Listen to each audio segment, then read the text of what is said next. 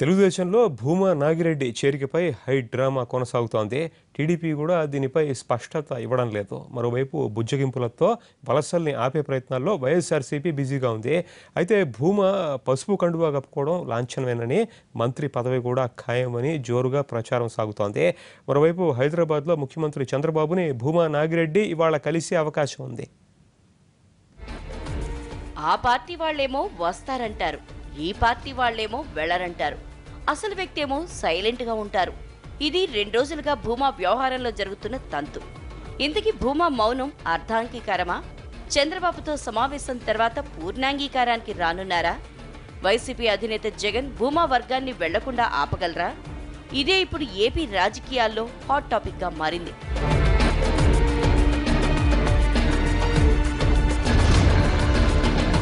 రోజంతా హైడ్రామా భూమా నివాసం లోటాస్ పండ్ మధ్య వైసీపీ నేతల చక్కర్లు.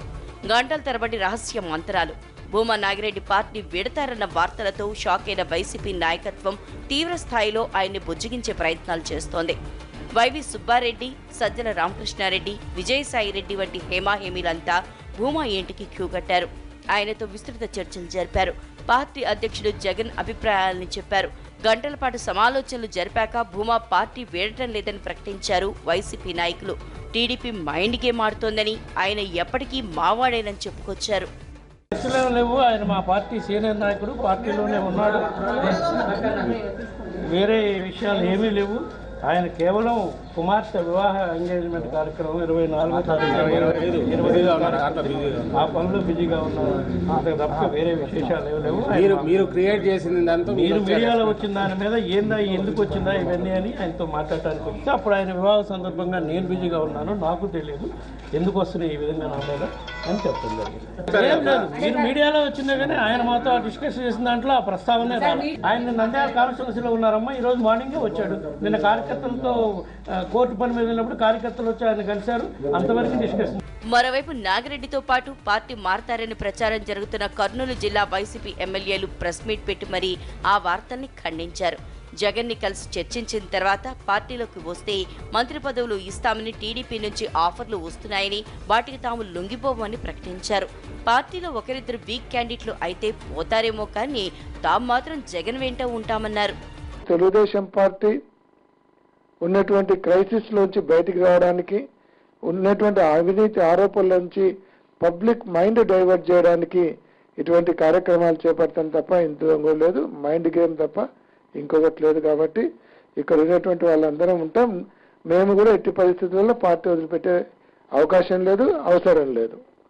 ఎలక్షన్లకు ముందు ఎన్ని వాగ్దానాలు ఇచ్చినాడో ఈ రోజు దాంట్లో ఏ ఒక్కటి కూడా సక్రమంగా నెరవేర్చలేదని మనకందరికి కూడా తెలుసు. రైతుల రుణమాఫీ కానీ డ్వాక్రా రుణమాఫీలు కానీ ఇంటికి ఒక ఉద్యోగం ఇస్తామని కానీ ఉద్యోగం ఇవ్వలేకపోతే వృత్తి ఇస్తామని చెప్పడం కానీ రెండు వేల రూపాయలు. ఏ ఒక్కటి కూడా నెరవేరలేదు. గ్రామాల్లోకి ఎక్కడికి పోయినా కూడా విపరీతమైన వ్యతిరేకత ఈరోజు తెలుగుదేశం పార్టీ మీద ఉంది. ఈరోజు తెలంగాణ పార్టీలో ఆ పార్టీ ఖాళీ అయిపోయింది. పార్టీ మారాలన్న నిర్ణయం పూర్తిగా నాగిరెడ్డిదేనని మీడియాలో వచ్చేదాకా కూడా సమాచారం అఖిలప్రియ కూడా తెలియదని కర్నూలు నాయకులు జగన్కు వివరించినట్లు తెలిసిందే. జిల్లా నుంచి మరే ఎమ్మెల్యే పార్టీని వీడరని వాళ్ళు జగన్కు భరోసా ఇచ్చినట్లు సమాచారం. కానీ జగన్ మాత్రం భూమా పార్టీని పెడతారన్న వార్తలపై విస్మయం వ్యక్తం చేసినట్లు తెలిసిందే. పిఏసీ చైర్మన్ పదవి ఇచ్చామని పార్టీలోనూ ఆయనకు గౌరవ మర్యాదలు ఉన్నాయన్న జగన్ నాగిరెడ్డి అన్న లాంటి వాళ్ళు పార్టీ మారతారని ఎలా ఊహిస్తామని ఎమ్మెల్యేలతో అన్నట్లు పార్టీ వర్గాలు అంటున్నాయి.